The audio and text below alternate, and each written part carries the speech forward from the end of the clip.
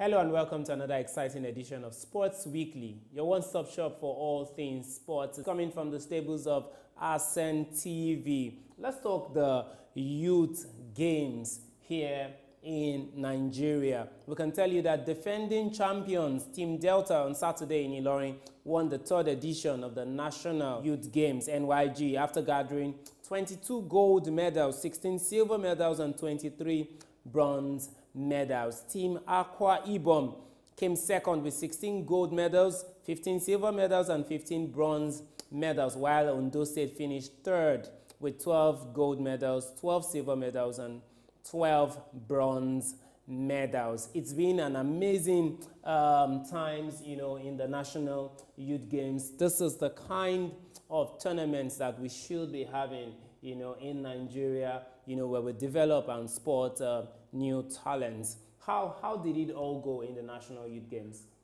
The whole idea of having a youth game Yeah. is, a, is a very, very positive one. It's a possible, it's commendable. Yeah.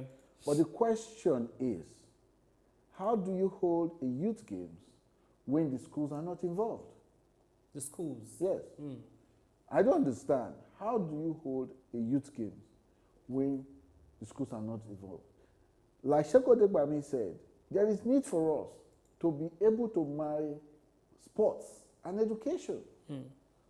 Because right now, even the youth, the whole idea of holding a youth games without having a marriage and integration of Nuga, Nipoga, into, and even I think there's one other one for the College of Education, into the whole program. Right. So what we what we are just witnessing is a situation where where we are not seeing people thinking broadly, if I use that word. We are not thinking broadly. Yes, the idea of having a youth game is good. But the question for me and you is the how. Hmm. The how continues to be a problem. And the how is, oh, these youths, you brought them from here. How did you produce them? Where did you produce them? Some of these youths are representing states. Then I ask a question where did the state get them from? Was there an age limit? I hear that Minister of Sports has now put an age limit that if you are not in school, like Shego Degbami said, if you are not in school, there is no way you should be allowed to participate in the youth games. So what we should actually have is those who should come into the youth games should be selected from Nuga. Either from Nuga or from secondly, there's even no school game, no, no sport events for secondary schools. So it's the people from Nuga, people from Nupoga. So what we should be, the youth games should actually be either, you might even be surprised, we, we can even classify the youth games as an event for only people from secondary schools. And wh- what are the rewards? There was no reward scheme. To win a gold medal in a youth game is good, it's honorable. But if you go to United States where sports is like is like the is, is sports is like culture for them. To get admission into uni- some universities in this thing, you need to show evidence about your profici- proficiency in sports, in different sports. And that is critical. We should stop doing things on ad hoc basis. We should have what I call a strategic plan. And it must go from one stage to the next stage, to the, from the local government, from the ward to the local government, after the local government to the state, after the state to the national. But today we just have a situation where we say, oh, you have a youth games. And what the, how do you produce the people that are going to the youth games? We do not know. Who are those that come to youth games? We do not know. I think there is need for us to bring some of these people. Need, we need to invite all these people who plan some of these things to this studio to really explain so that we can we can be in the know. That's important for us. All right, still talking the youth games. Um, Ogun, Benue, Bayelsa, Osun, Niger, and FCT Plateau are all um, states who have won some measure of success at um, the national youth games. And I think that you're still raising some very um, interesting, interesting points. I've said this before. How it looks like there's a lot of you know, um, everyone is doing different things. So there is Nipoga, there is Nuga, there's the youth games and all of that. But none of these things are very holistic. They are not very strategic. You know, you don't see the the plan, you know, from how do you develop, you know, a world beater? How do you develop an Olympic, um, you know, champion, you know, from, you know, primary school to secondary to university and all of that. It's very important that um, we try and put all of these things in perspective and develop, you know, uh, a, um, a proper game plan, you know, for success. All right, moving on now into the world of tennis. Let's tell you that our very own Aruna Quadri, you know, has won the Polish Open. So he's won the men's singles event of the ITTF Challenge Polish Open.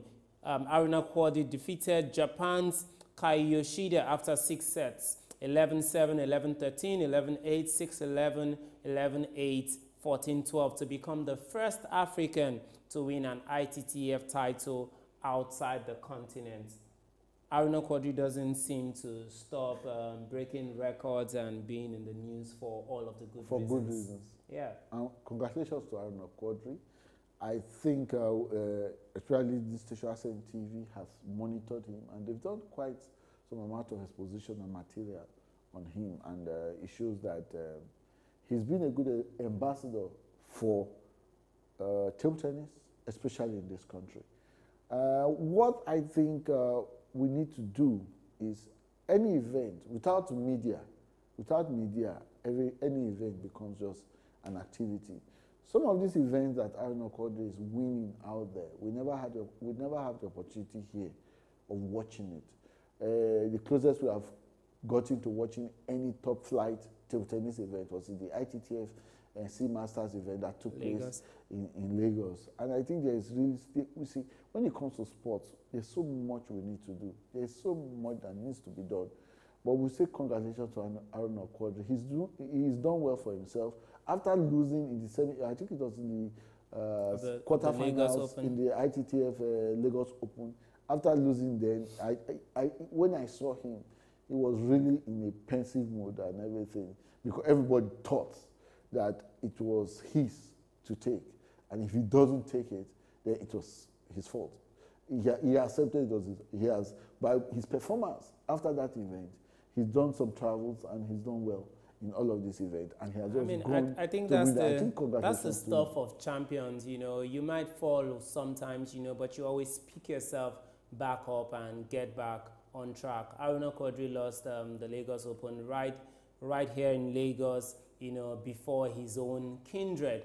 You know, but he did exactly the same thing. You know, to um, at the Polish Open where he defeated uh, Japan's um, Kai Yoshida, who plies his trade in Poland. Oh, So there was a lot of um, home support also for Kai Yoshida, but exactly, Aruna Quadri defeated him, and he has our congratulations and um, the many thanks of um, a lot of Nigerians back back home. so it's not only football that can bring us glory. Exactly. I, I think that um, we would get glory in um, a In lot more sports. You know, I know the you remember the um, D'Tigress The- also brought back um, the, the trophy. the trophy. You But know, the- on the African the stage. Tigers were not able to do that. the, the Tigers. I mean, they they also gave it their all, and uh, they were able to.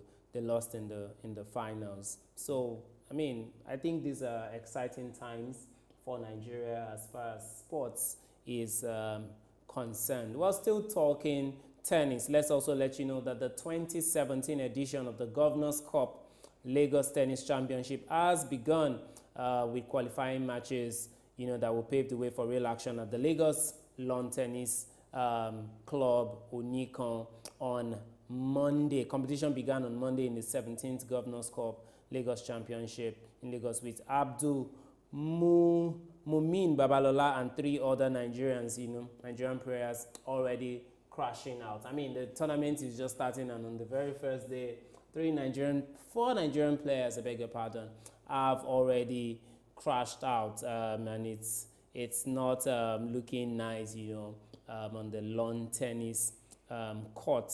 Babalola, who is a white card entrant, you know, lost um, 0-6 and 3-6 to Frenchman Johan Sebastien Tatlot, you know, who is number 7 seed.